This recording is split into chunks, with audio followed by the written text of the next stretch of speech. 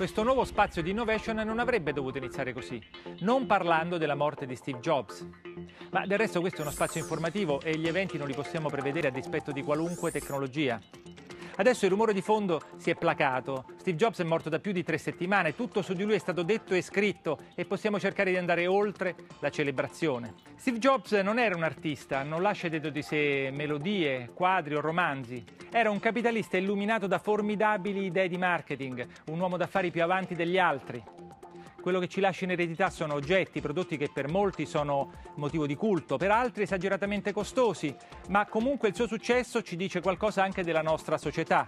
Ci dice che la nostra società è una società per la quale contano le cose e le cose che ci lascia in eredità Steve Jobs sono effettivamente notevoli. Allora, in questa prima puntata di News Machine possiamo tentare di fare un esercizio, cercare di immaginare come sarebbe il mondo se tutte le creazioni di Steve Jobs non ci fossero mai state. Nel 76 non nasce la Apple, due anni dopo non esiste quindi il computer Apple Lisa, che sarebbe stato il primo ad usare le icone. Queste nascono in casa Xerox con il modello alto che rimane però solo un esperimento fino al 90, quando le icone vengono finalmente lanciate da Linus Torvald per il suo sistema Linux. Il famoso lancio del Macintosh dell'84 non avviene mai e il mouse inventato da Doug Engelbart nel 68 rimane nel cassetto per 30 anni fino a quando scade il brevetto lo scopre Larry Page, il fondatore di Google. Il 96 i computer vedono ancora i floppy disk invece dei CD perché Jobs non ha mai costruito il computer Next.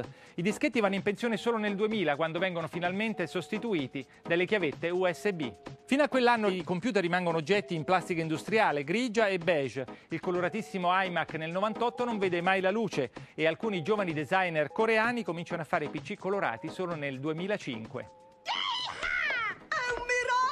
E tu volevi che restassi Toy Story e la Pixar non sono mai nati e quindi il 95 non vede l'uscita di nessun film di animazione digitale.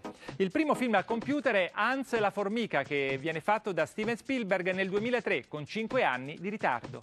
Il 2001 viene ricordato come l'anno del disastro ma non solo per le torri gemelle, anche per la musica. iPod e iTunes non esistono né oggi né mai e quindi i pirati musicali imperversano. Viene creata per riportare l'ordine la polizia del copyright che ha diritto di irrompere in ogni casa per cercare le ricevute di pagamento dei brani contenuti in ogni MP3. And we are calling it iPhone.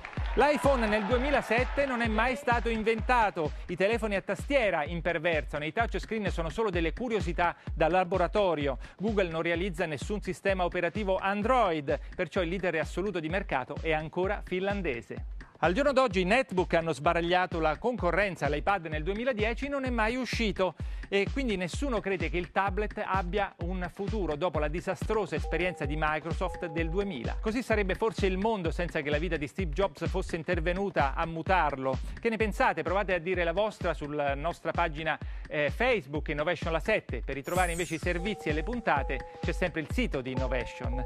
E adesso 5 cose che forse non sapete di Steve Jobs.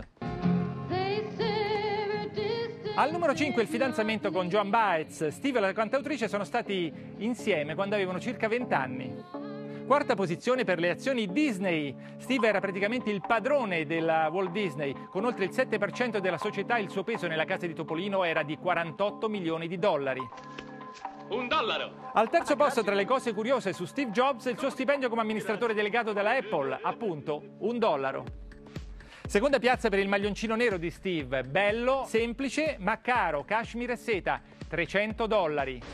Al primo posto Steve, una peste da piccolo, era un vero ciclone a scuola, portava serpenti vivi e faceva esplodere micette ovunque. E da oggi in poi concluderò con una frase che proprio oggi non può che essere questa. Il tempo che avete è limitato, non sprecatelo vivendo una vita pensata da altri, ovviamente è sua. Innovation continua tra poco.